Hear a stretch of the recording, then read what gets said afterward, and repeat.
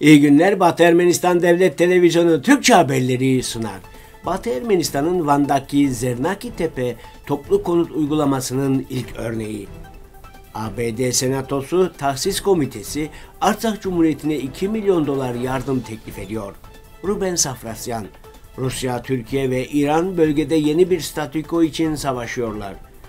Aliyev, Taliş köyünün kültür evini bir Rus kilisesi olarak sunarken Taliş'te hiçbir zaman bir Rus kilisesi olmadı. Cavakk'ın Kulikam köyü yolunun asfaltlanmasına devam ediliyor. Şam'ın merkezindeki terör saldırısında 14 Suriyeli asker öldü. Kudüs Ermeni Patriği imzasını geri çekme talebiyle bir protesto eylemi yapıldı. Azerbaycanlılar işgal ettikleri Artsakh Cumhuriyeti'nin topraklarında devlet düzeyinde Hristiyan değerlerini yok etmeye devam ediyor. Batı Ermenistan'daki Vanili'nin Arceş, Erciş ilçesindeki Zernaki Tepe'de modern toplu konut anlayışının ilk örneği olduğu düşünülen yaklaşık 270 hektar alandaki kent kalıntısında surlardaki taşları depreme dayanıklı hale getirildiği belirlendi. Erciş'in Yukarı Işıklı mahallesindeki tepede yaklaşık 2,5 kilometre uzunluğunda ve 1,5 kilometre genişliğiyle dikkati çeken ızgara planlı tarihi kent kalıntılarında kazı çalışmaları devam ediyor. İlk çalışmalar sırasında ortaya çıkarılan surlarda taşların harç kullanılmadan kırlangıç sistemiyle birbirlerine kilitlenerek depreme dayanıklı hale getirildiği saptandı. Amerika Ermeni Asamblesi'nin aktardığı habere göre Amerika Birleşik Devletleri Senatosu Ödenek Komitesi Artsakh Cumhuriyeti'ne 2 milyon dolarlık yardım sağlanmasını içeren 2022 mali yılı için ödenek tasarısını yayınladı. Özellikle komite Artsakh'ın ihtilafından etkilenen bölgelerde insani mayın temizleme ve patlamamış mühimmatın imhası için 2 milyon dolara yakın tahsis edilmesini tavsiye ediyor. Belge ayrıca Artsak'taki çatışma nedeniyle yerlerinden edilenlere insani yardım çağrısında bulunuyor. Yasanın 907. maddesi şöyle diyor. Amerika Birleşik Devletleri fonları başkan aşağıdaki karara varana kadar Azerbaycan hükümetine tahsis edilemez ve kongre Azerbaycan hükümetinin Ermenistan Cumhuriyeti ve arsa ablukasını ve diğer saldırganlıklarını sona erdirmesi için görülebilir adımlar attığı konusunda bilgilendirilmelidir. Kongre İlişkileri Müdürü Mariam Haloyan, Meclis ABD'nin Ermeni halkına verdiği desteğin devamını memnuniyetle karşılamaktadır, dedi.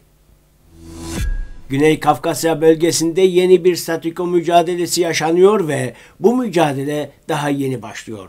Armen Press'in belirttiğine göre Ermenistan Cumhuriyeti Ulusal Bilimler Akademisi akademisyeni Türkolog Ruben Safrasyan, 1921 Moskova-Kars Antlaşması'nın 100. yıl dönümüne adanan konferansta bunu dile getirdi mevcut jeopolitik gelişmelerin ve bazı Ermeni bölgelerinin Türkiye ve Azerbaycan'a devredilmesini öngören rezil Moskova-Kars antlaşmaları dahil 1921 olaylarının arasında paralellikler çizen Safrasyan, mevcut durum arasındaki farkı yeni bir bölgesel dünya düzeni geliştirme mücadelesinde Türkiye'nin ve İran İslam Cumhuriyeti'nin Rusya'ya katılmış olduğunu belirtti. Türkoloğun sözlerine göre Rusya'nın geçen yıl savaş öncesi dönemde yaptığı bir stratejik gafın sonucu. Artsakh Cumhuriyeti Tarihi Çevre Koruma Devlet Servisi Facebook sayfasında sadece cahiller Taliş'teki Ammena Pırgiç Kilisesi'ni Afgan olarak sunabilir diye yazdı. Taliş köyü Mardakert bölgesinde yer almakta ve Azerbaycan tarafından işgal edilmiştir. Köyde ve çevresinde yapılan zirai ve inşaat çalışmaları sırasında bulunan özellikle taş aletler, lahitler o bölgede eski çağlardan beri insanların yaşadığını göstermektedir. 5. yüzyılda Horeka Manastırı yakınlarındaki yerleşime Tariç adı verildi. 1822'de köyün adı Melik Beglaryan Taliş Bey'in şerefine Taliş olarak değiştirildi uygun, stratejik açıdan önemli konumu yerleşimin Gülistan Prensliği'nin idari merkezi haline gelmesine yardımcı oldu. Taliş köy merkezindeki Ammena Pırgiç Kilisesi'nin inşası 1894 yılında tamamlandı. 1957'de yapımına başlanan ve 1959'da tamamlanan kültür evi ise Aliyev son zamanlarda yaptığı ziyarette bir Rus Ortodoks Kilisesi olarak takdim etti. Halbuki Taliş'te hiçbir zaman Rus kilisesi olmadı. Cavahk'ın Kulikam köyün kırsal yolunun asfaltlanma çalışmalarına başlanmasına bir ay oldu ve hala devam ediyor. Kulikam ve Kartikam köylerinde asfaltlama işlerinin uygulanması için ilan edilen elektronik ihaleyi 939 milyon 421 gel maliyetle Cavah Avto Gıza şirketi kazandı. Kulikam'da genel yolun 1240 metrelik kısmı asfaltlanacak. Cavah Avto Gıza şirketinin müdürü Cabba Zilkavadze çalışmalar bir ay önce başladı ancak her halükarda bu yıl tamamlanması gerekiyor dedi. Köylülerin bir kısmı yapılan işten memnun, bir kısmı ise hala beklenti içerisinde. Panorama Ayem'in belirttiğine göre 20 Ekim sabahı ünlü Damaros Oteli yakınlarındaki Raisi Köprüsü'nde Suriye ordusuna ait bir otobüsün geçişi sırasında teröristler iki bombayı patlattı. Güvenlik servislerinin bir kaynağına atıfta bulunan RIA Novosti Ajansı, ön verilere göre Şam'ın merkezinde meydana gelen terör saldırısında 14 askerin öldüğünü yazdı. Kudüs'teki inek bahçesi önünde bir eylem düzenlendi.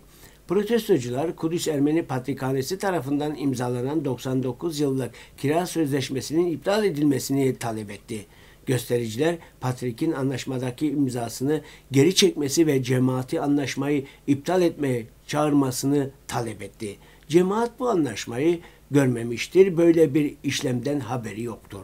Eylemin katılımcılarından biri Liragir.im ile yaptığı konuşmada bunun bireyler tarafından gerçekleştirilen bir eylem olduğunu belirtti.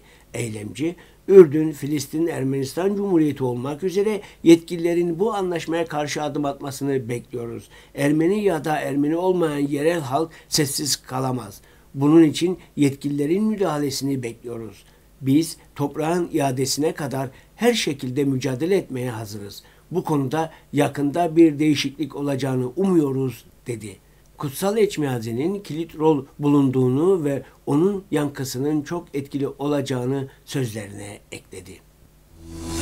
Azerbaycanlılar uluslararası kuruluşların çağrılarını ve tembihlerini görmezden gelerek işgal altındaki Arsak Cumhuriyeti'nin yerleşim yerlerinde yüzyıllar boyunca yaratılan Hristiyan değerleri olan manastırları ve kiliseleri, haçkar anıtlarını, diğer tarihi ve kültürel anıtları devlet düzeyinde yok etmeye devam ediyor. Güvenilir bilgilere göre Hadrut'taki ve bölgedeki tüm müzeler düşman tarafından yağmalandı ve ateşe verildi.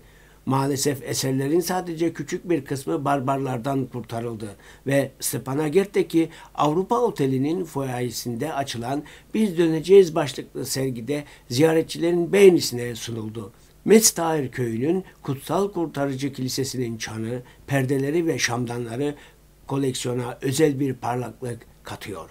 Ermeni Hristiyanlık değerlerini destekleyen serginin girişimcileri adaletin yerine geleceğine ve bu eşsiz sergilerin ev sahipleriyle birlikte doğum yerlerine geri döneceğine inanıyorlar.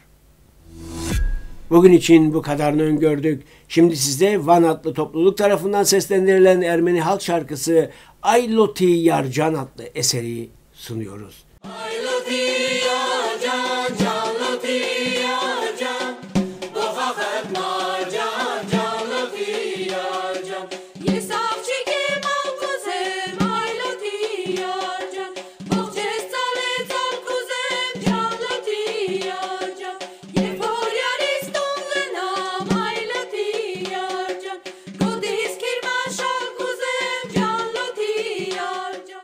Eserin tamamını Batı Ermenistan Devlet Televizyonu'nun resmi sitesinden izleyebilirsiniz. Hoşçakalın.